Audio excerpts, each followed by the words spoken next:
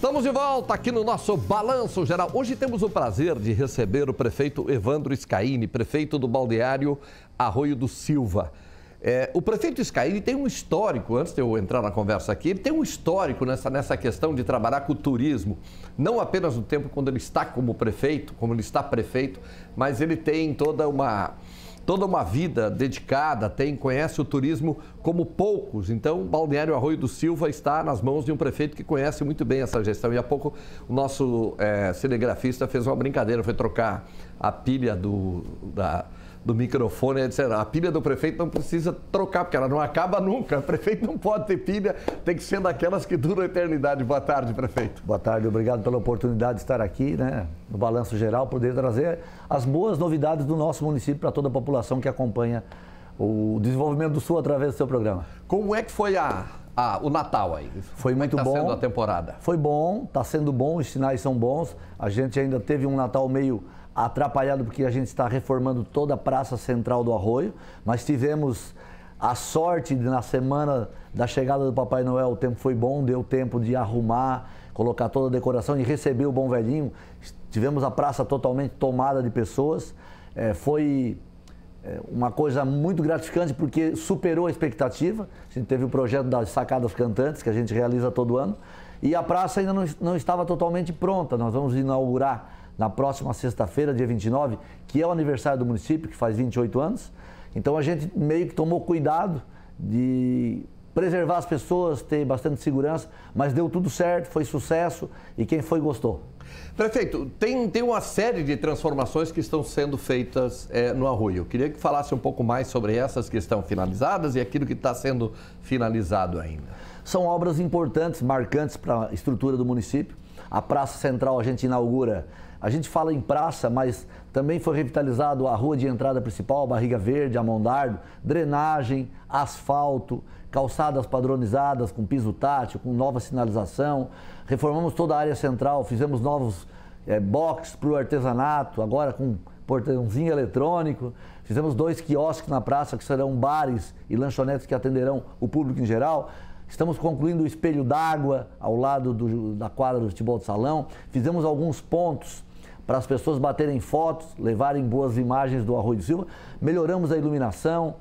Estamos, é, essa está marcada para inaugurar sexta-feira, dia 29. Estamos consolidando o nosso calçadão à beira-mar, que já a contenção já praticamente terminada. Estamos colocando o paver, depois vamos colocar a mobília.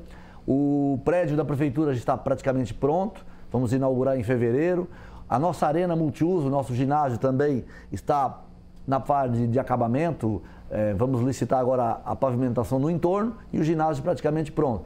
Posto de saúde na Praia dos Golfinhos também estamos mobiliando para inaugurar. Estamos construindo o centro de eventos, além de mais de 70 ruas que iremos pavimentar do dia 2 de janeiro até o dia 30 de maio do ano que vem.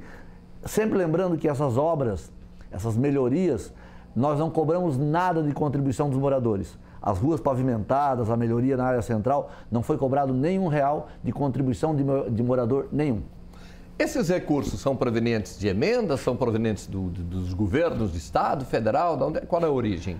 O ginásio nós temos emenda federal e emenda estadual e municipal.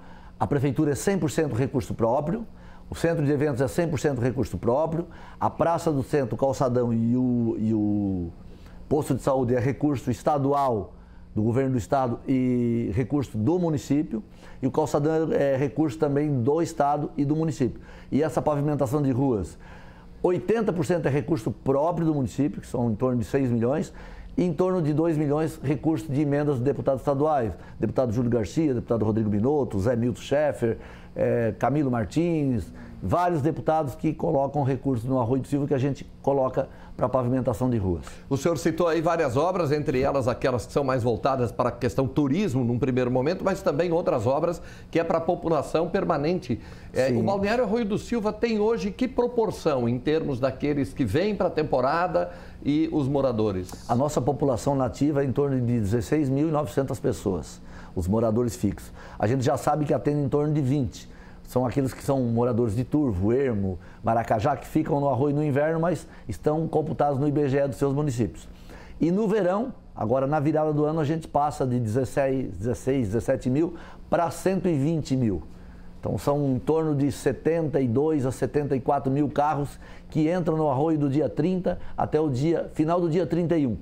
A gente multiplicando aí por três pessoas, duas pessoas e meia por carro, chega nesse número aí de 120 mil, 130 mil pessoas na virada. Depois ele normaliza, ele vem para 60, 70 durante a semana, com picos de 80, 90 para os finais de semana, dependendo da quantidade de eventos que o município oferece nos finais de semana de verão. A, a virada, e o que, que tem de eventos aí programados? Bom, nós começamos dia 29, com a inauguração da área central, temos show nacional do Guilherme Santiago, totalmente de graça. No dia 29, dia 30 já começa a ginástica na praia, futebol de areia e tem show do Jeito Louco, também de graça.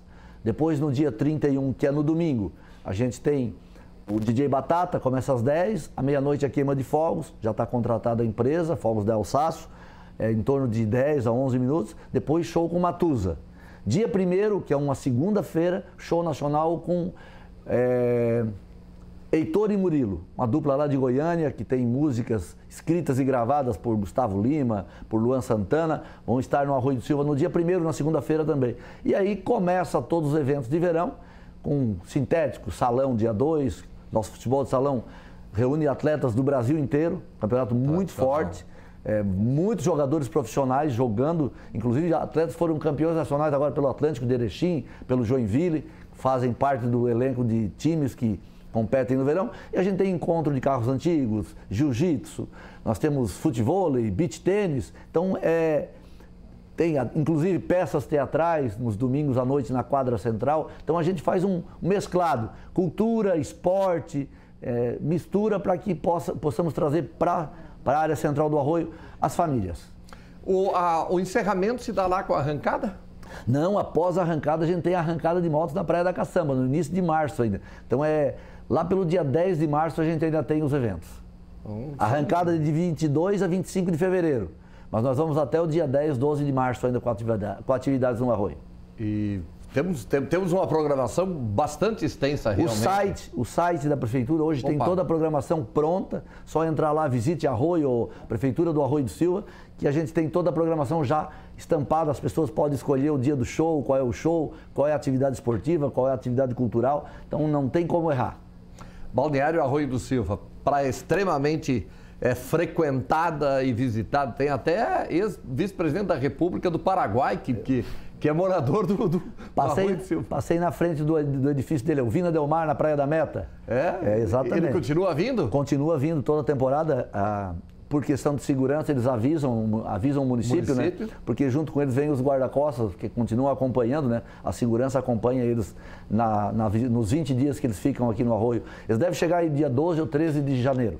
Olha só, o Arroio do Silva é riquíssimo nessas personalidades e nessas atrações.